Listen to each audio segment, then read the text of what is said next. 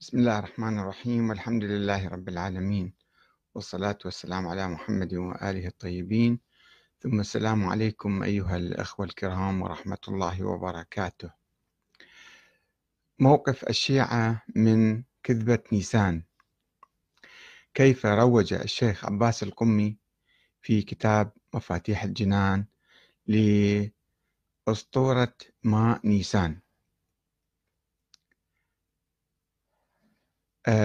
كما تعرفون في الأول من نيسان هناك آه، عادة مشهورة في الغرب خصوصا آه، أن يكذبون يعني يستبيحون الكذب أو يمزحون بهذا اليوم وكل واحد يطلع له كذبة ويضحك بها على الآخرين ويعتبروا هذا كذبة نيسان يعني مسموح فيها. الإسلام عموما وشيعة كجزء من الأمة الإسلامية الفقهاء المسلمون يحرمون الكذب حتى في المزاح. وبالتالي يرفضون آه، أن واحد يعني يمزح ويضحك على الآخرين بهذه المناسبة.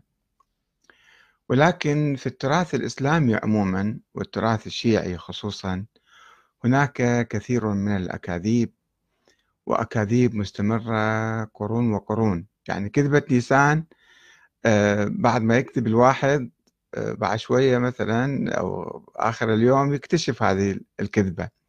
ولكن هناك آه، أكاذيب تستمر مدى الحياة.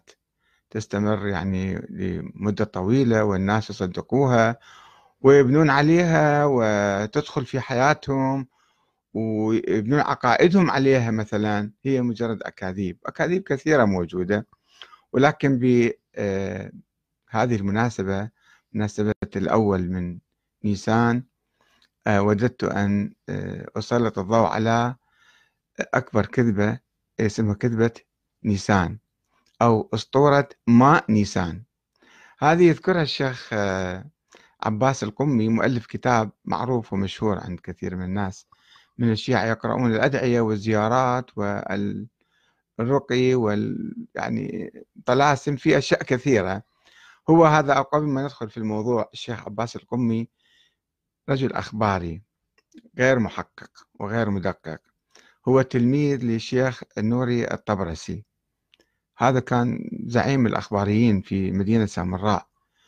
أه ومشهور في كتابه فصل فصل الخطاب في إثبات كتاب في إثبات تحريف كتاب رب الأرباب.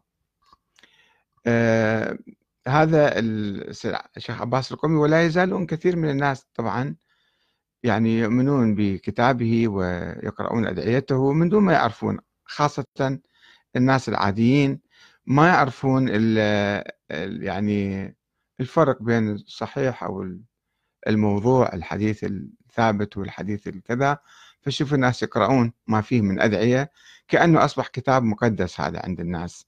وكتاب يعني كلش موثوق. والحالة الأخبارية موجودة حتى عند مراجع الآن مراجع كبار تشوفوا مثلا مجتهد في الفقه مجتهد في الأصول ولكنه ليس مجتهدا في العقائد ليس مجتهدا في الأدعية والزيارات. يقول لك هاي التسامح في أدلة السنن.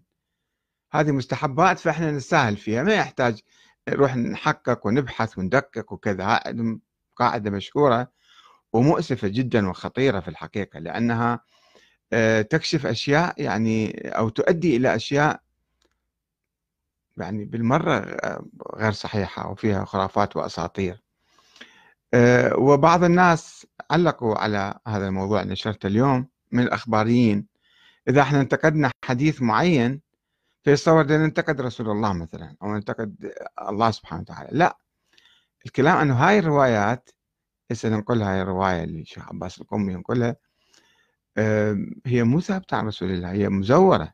وإحنا شوية لو نفكر فيها ونتأمل فيها نكتشفها. يعني ما يحتاج واحد يروح يدرس علم الرجال وعلم الحديث وعلم الأصول آه، ويكتشف أنه هذه الرواية صحيحة أو مو صحيحة. لا واضحة. هسه خلينا نقرأها الرواية. طبعا أنا عندي حديث مفصل عن كتاب مفاتيح الجنان في كتابي السنة والشيعة وحدة الدين خلاف السياسة والتاريخ. وجاي على دور الأدعية والزيارات في تكريس الأفكار الطائفية الخرافية الأسطورية. ومن ذلك فقرة في هذا الكتاب عن أسطورة ماء نيسان. طبعا مفاتيح الجنان في أدعية صحيحة وفي أدعية لطيفة حقيقة. ولكن ليس كل الأدعية هي صحيحة وليس كل الأدعية هي خطأ. ونجيب لكم نموذج هذا الكتاب هذا الدعاء أو هذا الورد أو هذا ما أعرف شو يسموه. من أبرز الأمور التي يذكرها الشيخ عباس القمي وتنطوي على قدر كبير من الخرافة والأباطيل. حديث عجيب غريب ينقله عن كتاب زاد المعاد لعلي ابن طاووس الواحد قبل 700 800 سنة كان موجود مألف له كتاب هو مجمع هم أخباري كان ذيك الأيام مجمع له مجموعة أحاديث وكذا وحاطه في كتابه. شيخ عباس القمي انتقد كتاب سابق كان مشهور في قبل ما هو يعني كتاب اسمه مفتاح الجنان. وقال هذا الكتاب فيه أحاديث جدا عجيبة غريبة ومو صحيحة وكذا. وكتب كتابه مفاتيح الجنان حتى يصحح ذاك الكتاب أو يخلي كتاب في مكان ذاك الكتاب القديم. ولكنه أيضا وقع فيما وقع فيه الأخباريون من قبل. يقول فيه هذا علي بن طاووس يقول فيه بس السند لا تسألون عن السند. الرجال من هم لا تسألون عن الرجال. أصلا لا سند ولا رجال. يقول إن قوما من الأصحاب أصحاب رسول الله يعني كانوا جلوسا إذ دخل عليهم رسول الله صلى الله عليه وآله وسلم فسلم عليهم فردوا عليه السلام. فقال ألا أعلمكم دواء علمني جبرائيل عليه السلام حيث لا أحتاج إلى دواء الأطباء لازم نعزل كل المستشفيات وكل الأطباء وكل الصيدليات. وقال علي وسلمان وغيرهم وما ذاك الدواء؟ فقال النبي صلى الله عليه وسلم لعلي تأخذ من ماء المطر بنيسان. تجمع الماء وتقرأ عليه كلا من فاتحة الكتاب الحمد يعني وآية الكرسي وقل هو الله أحد. وقل أعوذ برب الفلق وقل أعوذ برب الناس وقل يا أيها الكافرون سبعين مرة. تقعد تقرأ الآيات القرآنية على والسور القرآنية على هذا الماء وتنفخ عليه. وزادت رواية أخرى سورة إنا أنزلناه أيضا سبعين مرة فوقها. والله أكبر سبعين مرة ولا إله إلا الله سبعين مرة. وتصلي على محمد وآل محمد سبعين مرة. هذا إذا ما متت طبعا. يعني تقعد تسوي الأشياء وأنت راح تطيب على أساس يعني تشرب الدواء حتى تطيب بس يمكن أنت تموت أثناء الأدعية الطويلة والأوراد الطويلة وتشرب من ذلك الماء غدوة وعشية سبعة أيام متواليات يوم بعد يوم صبح بالليل تشرب من هذا الماء أه والذي بعثني بالحق نبيا.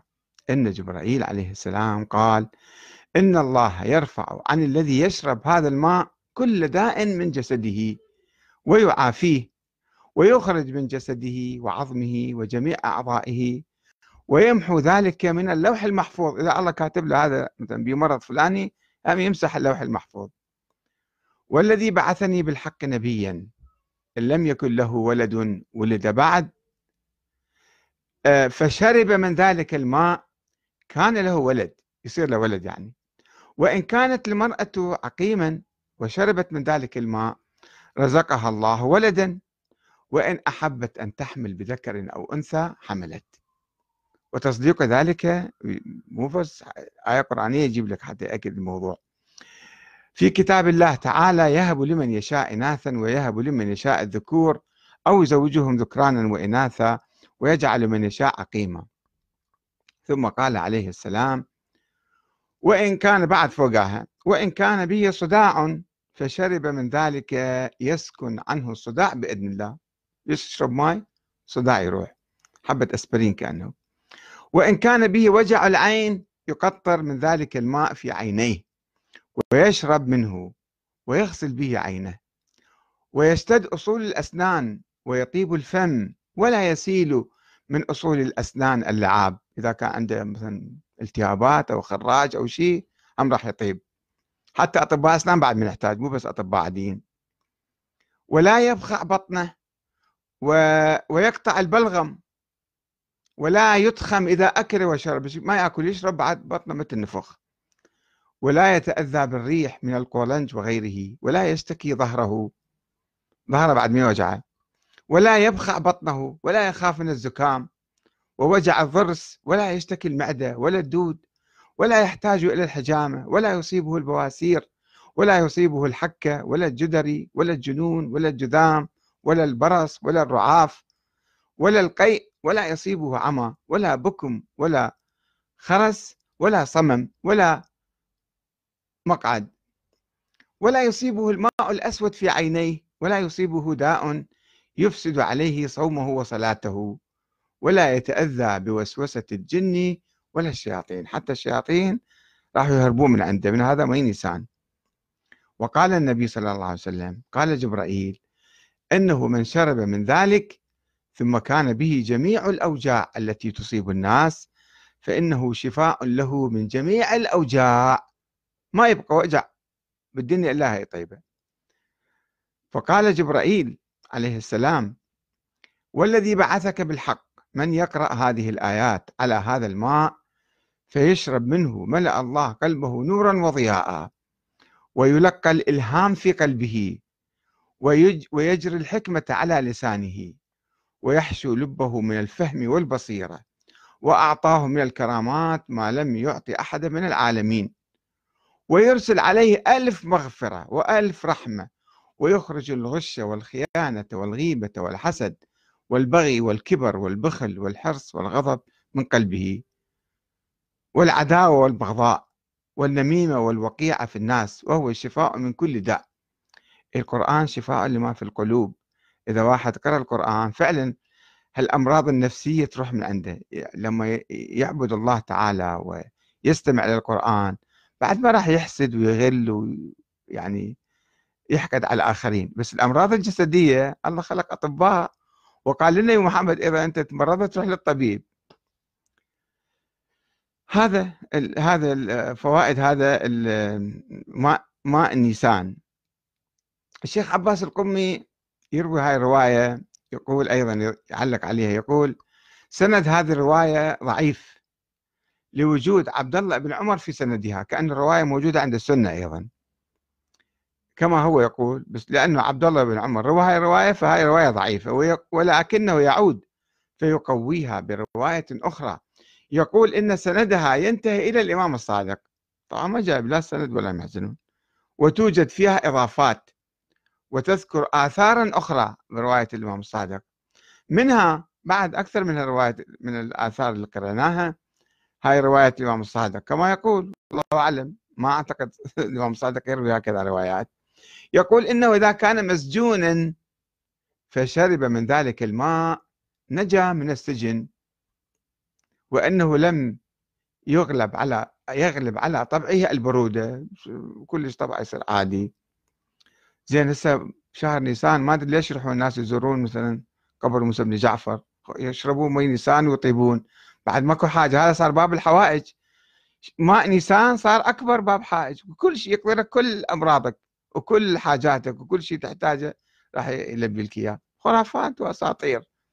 مركبية باسم الدين وباسم أهل البيت وباسم النبي محمد ولسنا بحاجة لمناقشة هذه الرواية التي تنضح بحقيقة وضعها واختلاقها وأسطوريتها والتي تحاول تقديم ماء نيسان كحل سحري لجميع مشاكل الإنسان الجسدية والمالية والروحية والأخلاقية والاجتماعية والسياسية. بعد ما بقى شيء هذا صار حلال المشاكل الأكبر هذا مي نيسان فأحد الأخوة علق قال يعني أنت ليش تنتقد النبي؟ يعني أنا ما أنتقد النبي. أقول لك هاي الرواية مو معقولة تصدر عن النبي.